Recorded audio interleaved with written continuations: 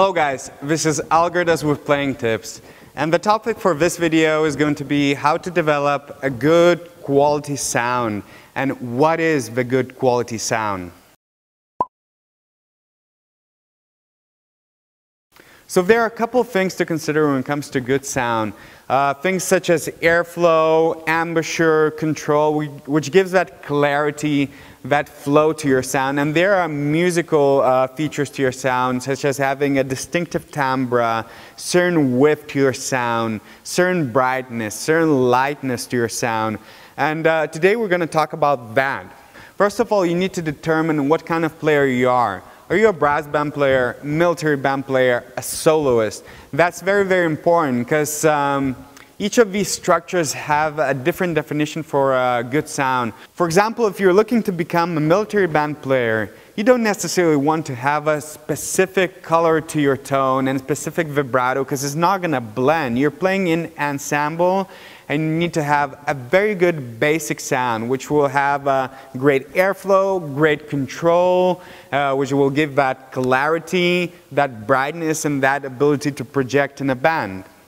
If you're a soloist though, it's very, very important to develop your own distinctive colors. Whenever I hear a great solo player, um, despite of what instrument he plays, whether it's trumpet, euphonium, tuba, I can pretty much usually tell who that person is just by listening to the sound because there's like specific colors and distinctiveness to the sound and that is being developed by constantly listening, experimenting, and realizing what you want from your sound.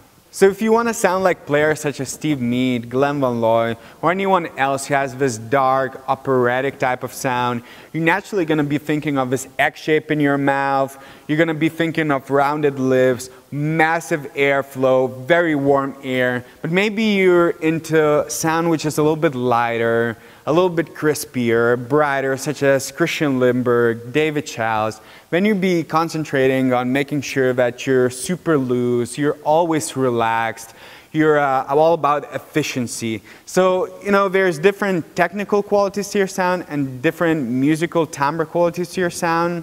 So what I want you to try now is to do a little experiment for me. Pick your favorite player of your instrument. So let's say you play trumpet. So it might be somebody like Allen Vizzutti, or you play tuba, it might be somebody like Ron Szentpali, and etc. So anyway, uh, any player you like. And then listen to one of his recordings and try to replicate his sound. Take your instrument and try to sound like him. And really, really, really have that tone and that timbre in your head and try to replicate it with your head, with your mind and let me know what you think. You know what? Actually, I'm going to try and do this little experiment um, as we go along. So let's say I wanted to sound like, uh, what can I sound like? Let's say Steven Mead. If I wanted to create that certain specific sound. So now what I'm having in my head is his sound, and um, actually let me know what you think. Does it sound anything like Steven Mead?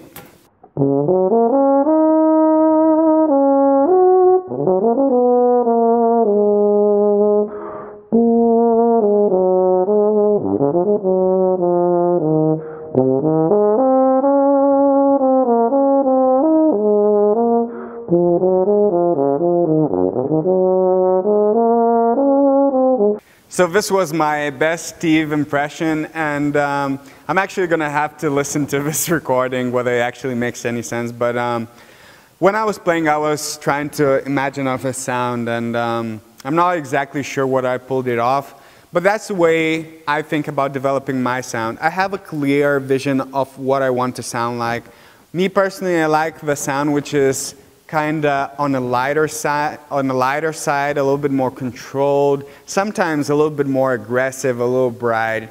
So whenever I practice and whenever I play my pieces, this is what I'm shooting for. And I kind of try to mix it up. That's the thing about me. I don't like having a singular one type of sound or one type of vibrato. I constantly try to mix it up and develop my own personal tone.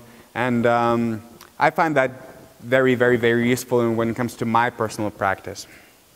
So obviously there's more to um, developing your sound and a good quality sound than just thinking of it or singing, but that's an important part. Imagining visualizing it, brain and your mind is a very, very, very powerful tool. So use it wisely and use it on daily basis in your practice. As always, thanks for watching. If you have any questions, post them in the comment box below or uh, post them on my Facebook page. I'm going to put the links uh, in the description box. Make sure to share this video if you liked it. Help this channel grow. Uh, I'll try and answer all the questions as soon as possible, so don't worry if they don't come up within a week or something.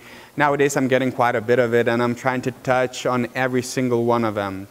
Thanks for watching, guys. As always, stay safe, work hard, keep motivated. Till the next time.